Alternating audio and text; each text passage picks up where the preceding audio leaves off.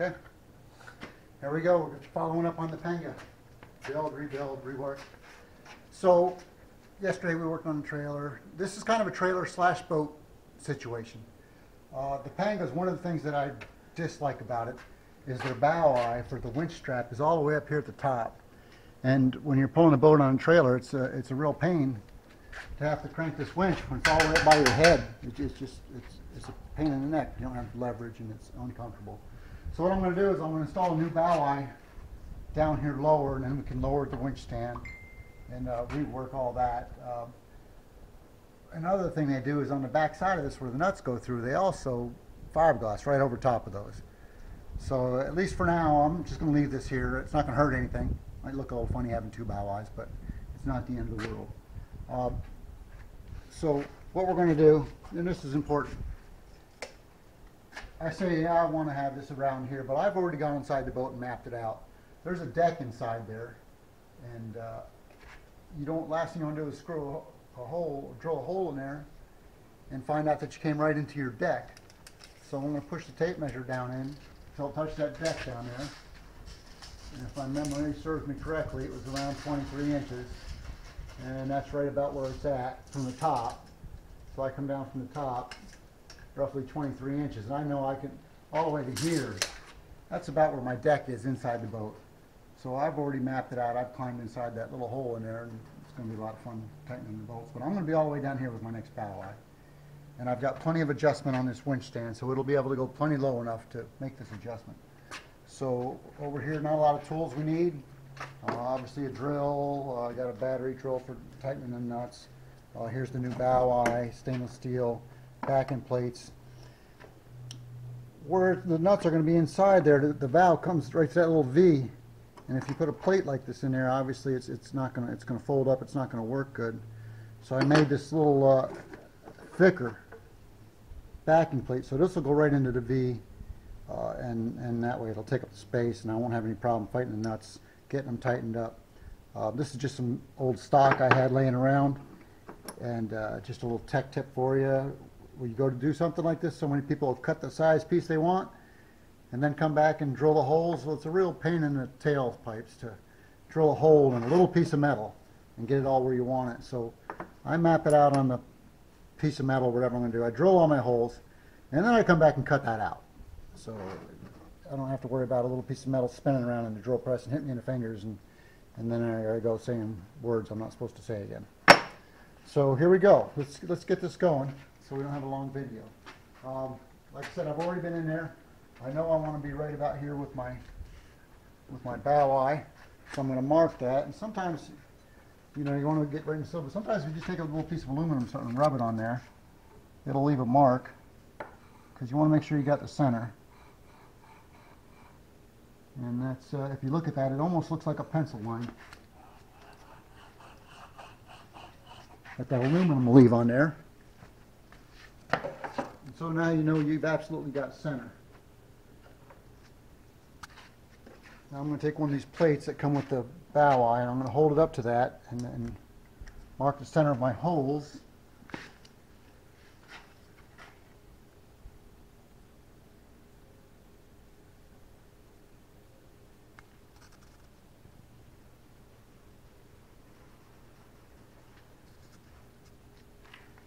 And then I'm going to double check it with the bolt. See how that looks. Once you drill these holes, when you drill them, you drill them. When you're done, you're done. Okay, it looks pretty good. I'm going to go ahead and drill one before I drill the second one. And it's going to be a half inch, that's a half inch bolt. I'm going to start out with a small bit here. Just makes it a little easier.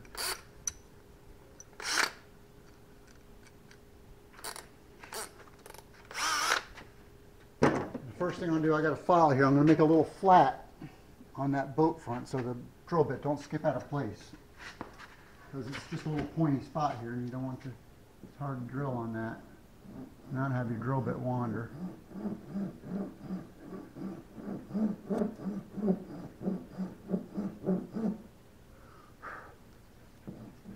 Now I made my little black line go away. You have to redo those. As well do them both at the same time.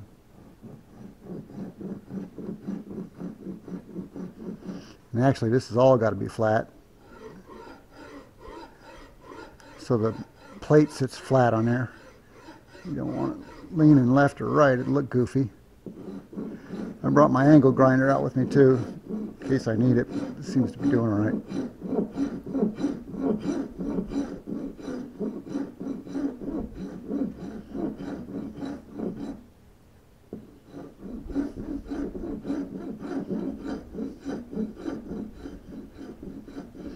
The whole time I'm doing this, I'm making sure I stay square with the boat so it stays in the middle. Just take your time.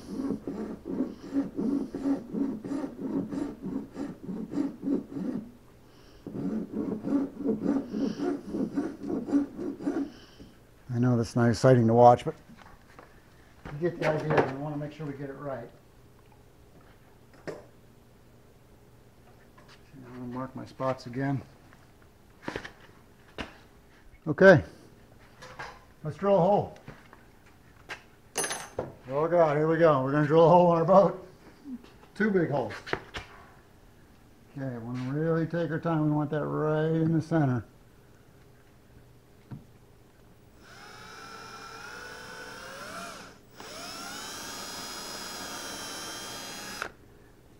Okay, I got that started now.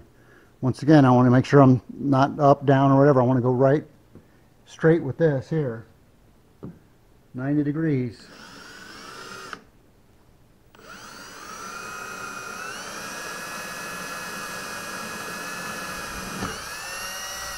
And there's our first hole on our boat. We're going to sink. Okay, here's number two.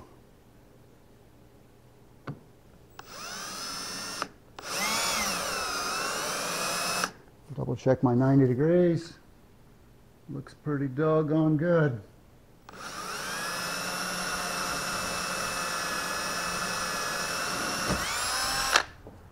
Hopefully we did that right. And actually, if you were to mess it up, it's not the end of the world. It's easy to patch a little hole with a little gel coat mix, but we'd rather not. Okay, let's just check this out. That's right on the money. Those are li lined up just perfect. So uh, here we go. Bigger hole.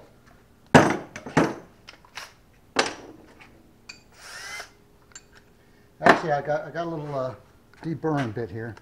I'm going to run that in there first.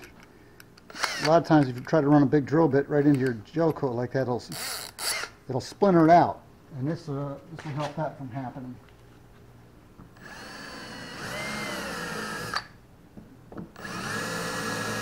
Just go to about what you think is a half inch hole.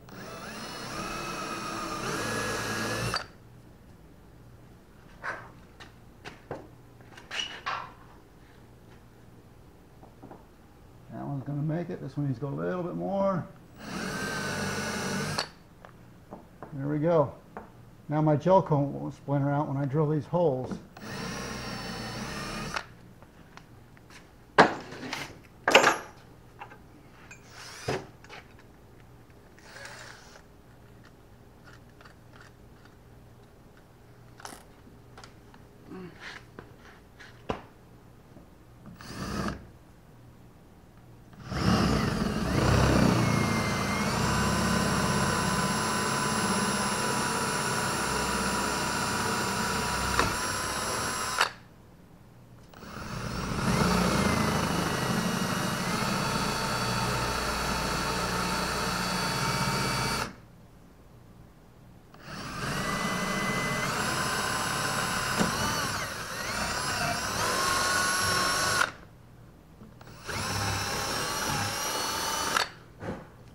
Give them a little waller, just to make things a little easier when we put this in. Wow, look at that. That's pretty good. I'm going to clean them out just a little bit more.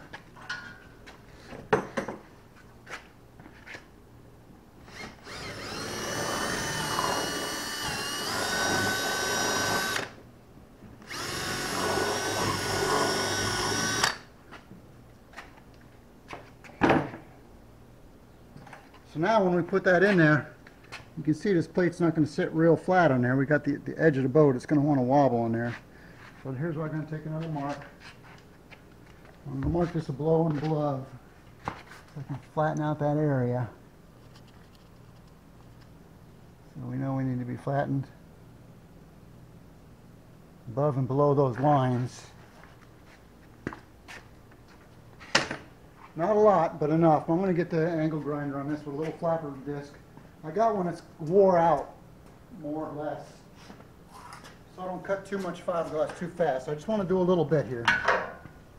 Don't forget, once we put the silicone in around this, it'll fill those edges a little bit.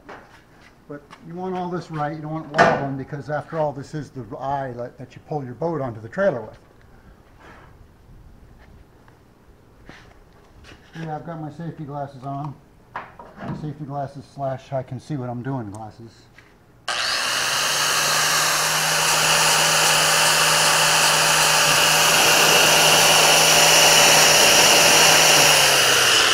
That's pretty good.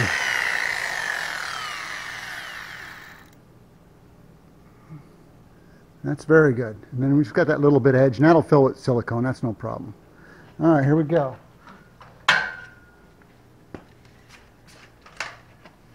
So, once we get this through, most of the way, then I'll fill it with silicone.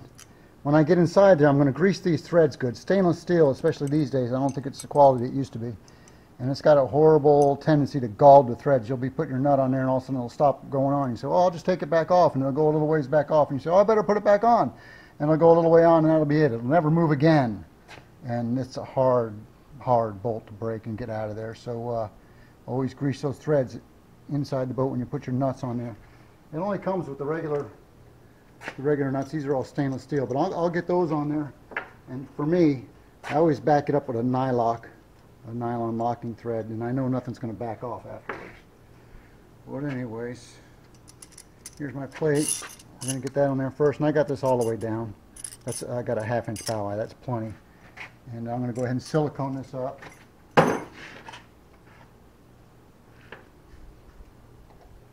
And a little bit extra is okay. You don't want this leaking. This is above the water line. I'm just using uh, silicone acrylic here. If it was below the water line, we'd use 5200, which is a really good product, but it's made, it's uh, very tenacious. If you ever had to take it off for any reason, it actually will pull the gel coat off. You can see I'm putting this well above where it needs to be because I want to make sure it gets in there good. I'm going to put all the way down that plate, down the center. So it's going to squish out everywhere when I put it in.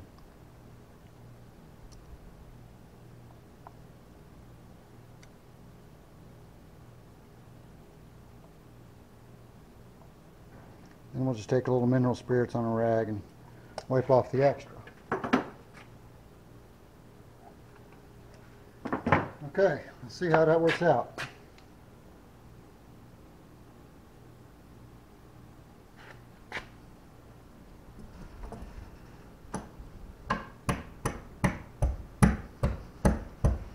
This is where it's good to have a block of wood, not use your hand as a hammer.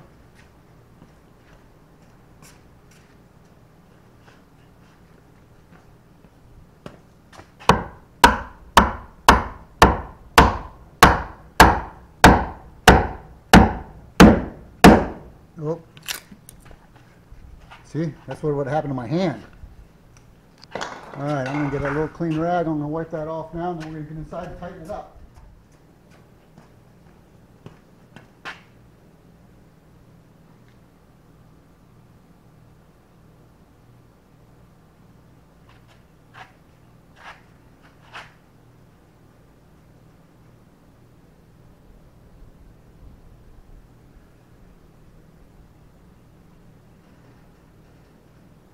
It looks pretty good so far. It's straight. I'm happy with that. Okay, I'm going up in the boat. I'm going in a little hole up there. If I'm not out in an hour, call the fire department. I got my backing plate to take up the space. I got my nuts, my washers. This is the backing plate that came with it. I'm going to see if I got room to put that over top of it. Just because it's stainless, even though I, that should be enough. I'll have it up there with me. There's my grease for my threads. And here's my battery operated drill to tighten it up.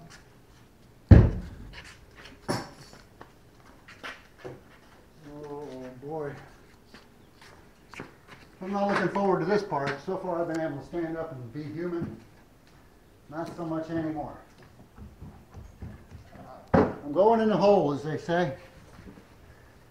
Way up there is where all this came through.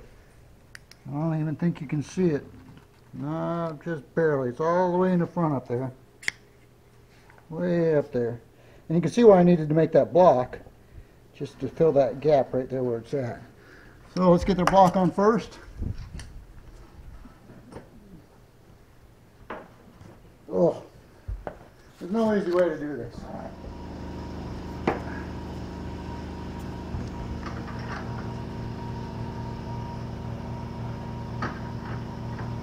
That was it. It's on. I found it easier to reach up in there use the braille method and to get my head in there. And I have a little grease on those threads.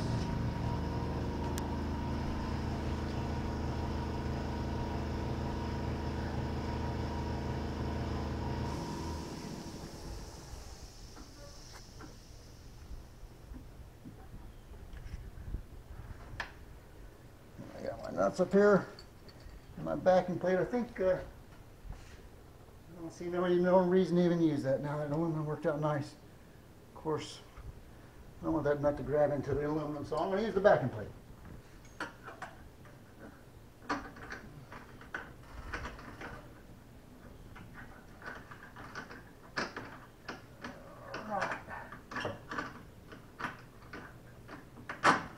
Oh, I can almost reach it.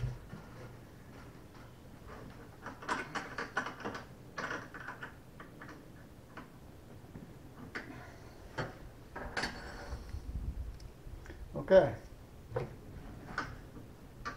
Well, this isn't a very exciting video, but I guess you realize the pain you're going to have to go through to do this. Unless you're all open bow. It's all right. It'll be worth it when it's done.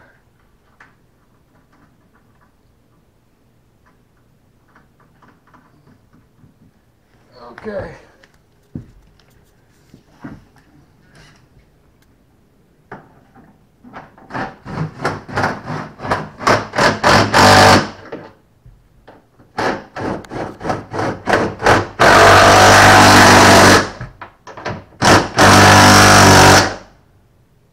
That's good and tight.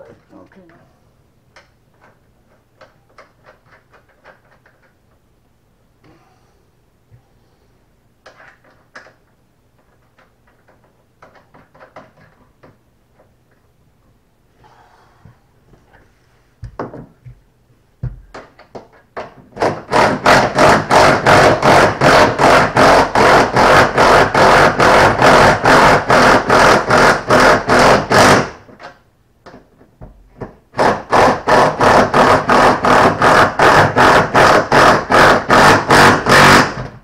If you're wondering why I kept starting and stopping, starting and stopping, as I said, those stainless spokes will get a tendency to the gall, so you don't want to go fast with. You want to go slow. So you don't have a problem. All right, looks really good in there. Let's go back outside and dress up the inside, outside.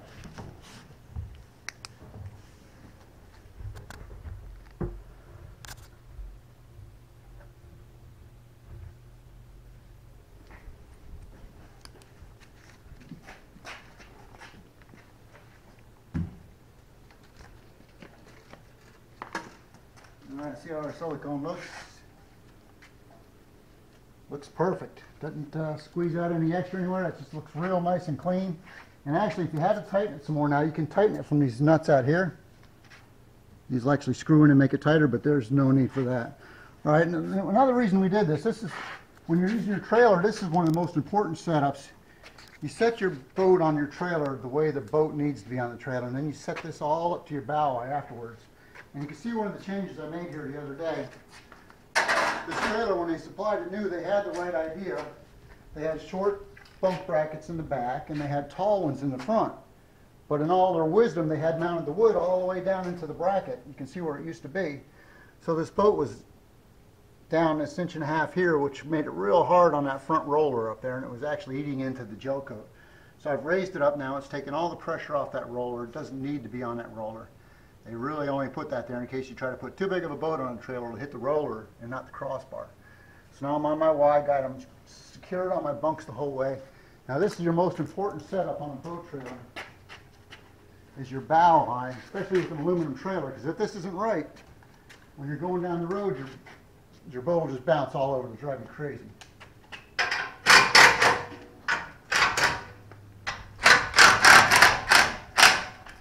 By having it properly set up, everything will be secure, it'll ride rock solid for you.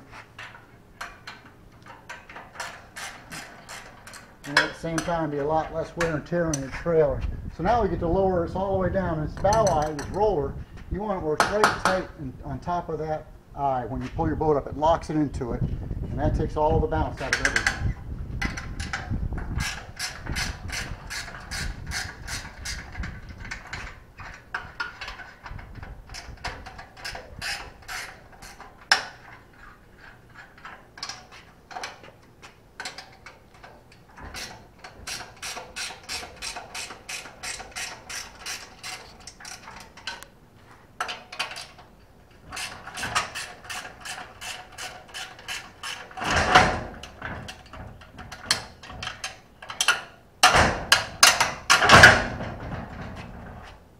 Oh, that's just about right there. Let's see. Okay, we're gonna have to pull the boat up forward another couple inches.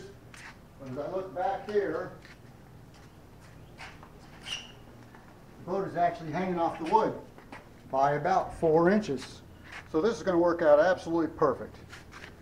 Absolutely perfect. And if it's too heavy on the front when I'm done, we can always move the axles forward and take it a little off, but I don't think that's the case. All right, I'm gonna tighten that up Actually, I'm gonna raise it just a smidge, just to give yourself a, an idea what's happening. Your winch strap will be next. Uh, yeah, you can see where that strap is pulling. We want, we want that a little bit higher than that, just a smidge. You want a good straight pull. I'd say a smidge. I don't think it's gonna take much. Probably right about where I got it there.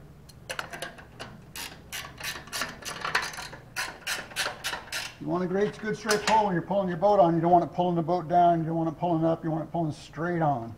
It'll make everything easier for you. And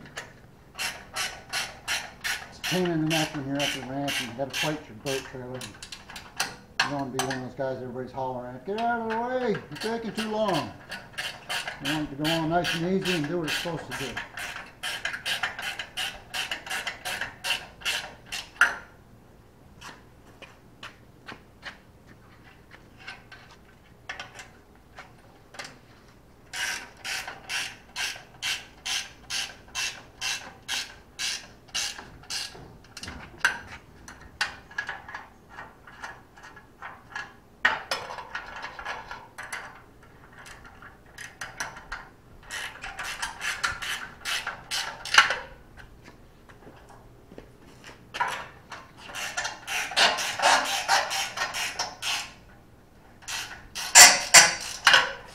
Have one of these gear wrenches, get one. They're great.